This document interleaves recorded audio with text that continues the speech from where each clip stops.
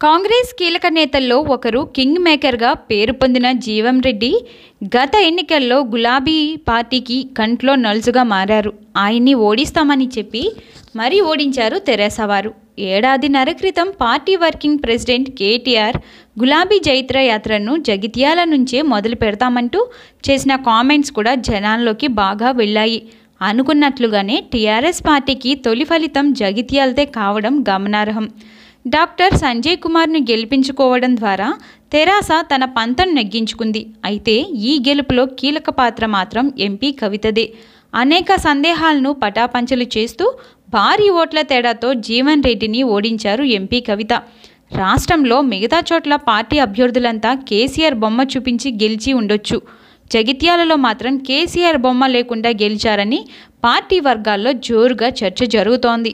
ఎందుకంటే రెండు వేల పద్నాలుగులో టీఆర్ఎస్ గాలిని తట్టుకుని మరీ జీవన్ రెడ్డి నిలబడ్డారు. ఈసారి కూడా గెలుపు ధీమాతో ఉన్న ఆయనకు ఈసారి అడ్డుకట్ట వేయగలిగారు.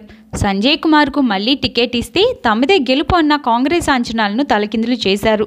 వివరాల్లోకి వెళ్తే తెరాస వ్యూహాల ముందు జీవన్ రెడ్డి నిలవలేకపోయారు. తన రాజకీయ చరిత్రలోని అతి భారీ ఓటమిని ఆయన చవిచూశారు.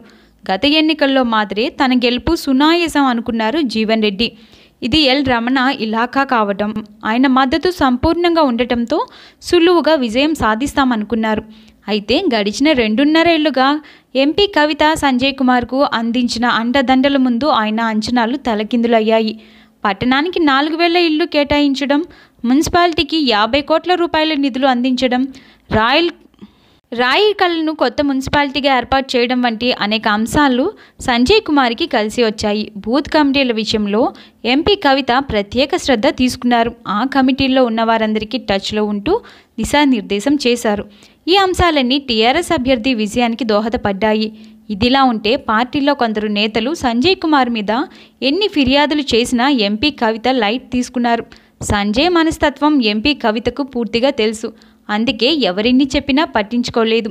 ఇలా సంజయ్ మీద అసంతృప్తులను బుజ్జగిస్తూనే మరోవైపు కూటమిని తీవ్ర స్థాయిలో విమర్శించారు. ఎన్నికల సమయంలో ఆమె చేసిన ఆరోపణలు జనాల్లోకి సూటిగా వెళ్ళాయి.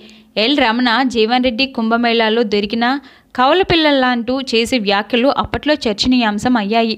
అంతకుముందు ఎల్ రమణ జీవన్ రెడ్డి ఒకరిపై ఒకరు చేసుకున్న విమర్శలను రోడ్ షోలో సభా వేదికల మీద ఎంపీ కవిత హైలైట్ చేశారు. ఎల్ రమణ ఎన్నికల చివరిలో ప్రచారానికి వస్తారని భావించినప్పటికీ సమయభారం వల్ల రాలేదు. మరోవైపు జగిత్యాల పట్టణాభివృద్ధి జరగకపోవడానికి వీరిద్దరే బాధ్యులంటూ ఎంపీ కవిత చేసిన ప్రచారం జనాల్లోకి గట్టిగా వెళ్ళింది. టీడీపీ శ్రేణులను కూడా జీవన్ రెడ్డి ప్రచారానికి సరిగా వాడుకోలేదన్నమాట ఆ పార్టీ నేతల్లోనే వినిపిస్తోంది. కొన్ని చోట్ల టీడీపీ నేతలు చూపించినంత ఉత్సాహం కాంగ్రెస్ నేతలు చూపించలేదని వారే అంటున్నారు. గట్టిగా టీఆర్ఎస్ గాలి ఉన్నప్పుడే గెలిచాం. ఇప్పుడు గెలుపు మరింత సులభం అన్న అతి విశ్వాసమే జీవన్ రెడ్డి ఓటమికి కారణమని కొందరు విశ్లేషిస్తున్నారు. ఏది ఏమైనా కేసీఆర్ బొమ్మ లేకుండా అంత సీనియర్ నేత మీద దాదాపు అరవై ఐదు వేలపై చిలుకు మెజారిటీతో గెలవడం సంచలనమైంది. ఈ వార్తపై మీ అభిప్రాయాన్ని కామెంట్ రూపంలో తెలియజేయండి.